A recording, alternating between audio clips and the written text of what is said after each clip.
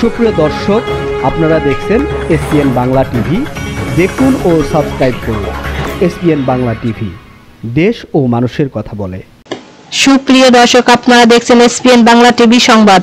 উনত্রিশে ডিসেম্বর দুই হাজার বিশ বাংলাদেশ শিশু কল্যাণ পরিষদ মিলনায়তনে মুক্তিযোদ্ধা কল্যাণ ফাউন্ডেশন আয়োজিত মহান বিজয় দিবস উপলক্ষে মুক্তিযুদ্ধের চেতনা শীর্ষক আলোচনা সভায় প্রধান অতিথি সাবেক মন্ত্রী নাজিমুদ্দিন আল আজাদ। মহান বিজয় দিবস সম্মাননা দুই হাজার সমাজ সংগঠক হিসেবে তুলে দেন প্রসেনজিৎ রায়ের হাতে। সভাপতি নবজাগরণ যুব সংঘ দাকব খুলনা।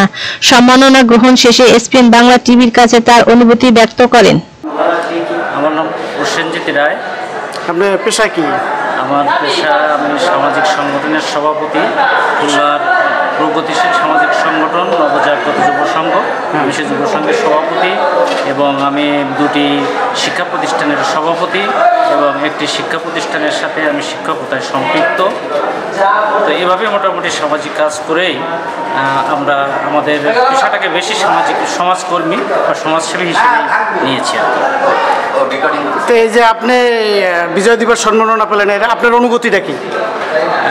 আসলে আমরা এদেশের মুক্তিযুদ্ধের চেতনায় বিশ্বাসী বঙ্গবন্ধুর আদর্শে বিশ্বাসী এবং বঙ্গবন্ধুর আদর্শ মুক্তিযুদ্ধের চেতনাকে সামনে নিয়েই আমি সামাজিক কাজ করে থাকি। এবং এই সামাজিক কাজের জন্য সরকারের বিভিন্ন পর্যায়ে থেকে বিভিন্ন সময় আমাদেরকে ডেকে আমাদেরকে অনুপ্রাণিত করা হয়।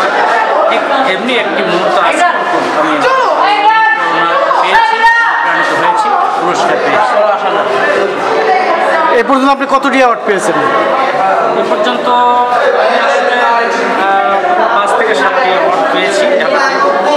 সবগুলোই অ্যাটেন্ড করা হয় না পাই আমন্ত্রণ কিন্তু সবগুলোই অ্যাটেন্ড করা হয় না খুলনা থেকে কর্মব্যস্ততার মাঝখান থেকে আসা সম্ভব। এই অ্যাওয়ার্ড পেয়ে তো আপনার দায়বদ্ধতা তো আরও বেড়ে গেল। হ্যাঁ অনেক বেড়ে গেল অনেক দায়িত্ব বেড়ে গেল।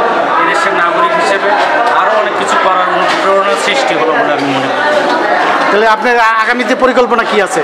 আগামীতে আমার পরিকল্পনা আছে যেহেতু একটি সামাজিক সংগঠন দীর্ঘদিন ধরে আমি নেতৃত্ব দিয়ে আসছি এই সামাজিক সংগঠনকে আহ, জাতীয় পর্যায়ে নিয়ে যাওয়া এবং ভালো কাজ করা মানুষের সেবা করা মূলত মানুষের পাশে থাকাই হচ্ছে আমার মূল ইচ্ছা। ওই সংগঠন থেকে কি কি সেবা দিচ্ছেন জনগণকে? থেকে আমরা প্রতি বছর আমাদের বার্ষিক সম্মেলনে আমরা বীর মুক্তিযোদ্ধাদের সম্মাননা প্রদান করি শীতবস্ত্র প্রদান করি বিনা খরচে চিকিৎসা সেবা প্রদান করি এবং যারা চিকিৎসা সেবার জন্য বাইরে যেতে চান তাদেরকে আমরা আমরা চেকের মাধ্যমে অর্থ প্রদান করি কৃতি শিক্ষার্থীদের সম্মাননা দিয়ে থাকি এবং বিভিন্ন সময় সময় উপযোগী বিভিন্ন কার্যক্রম যেটা প্রয়োজন আমরা করে থাকি। আমাদের খুলনা আহ, দুর্যোগ প্রবণ এলাকা যাতে দুর্যোগের থেকে মানুষ রেহাই পায় দুর্যোগে সচেতন হয়। সেজন্য আমরা দুর্যোগে সচেতনতামূলক নানা কর্মসূচি আমরা করে থাকি। এভাবেই আমাদের সংগঠনের নানা কাজ সময়ের সাথে আমরা হিসাব করি আপনাদের কার্যক্রমটা কি বাংলাদেশ ব্যাপী আমাদের কার্যক্রমটা খুলনা জেলা জেলা ভিত্তিক জেলা এসপিএন বাংলা টিভির পক্ষ থেকে আপনাকে অনেক ধন্যবাদ সময় দেওয়ার জন্য, কথা বলার জন্য। আপনাকেও ধন্যবাদ। আমাকে সময় দিলেন।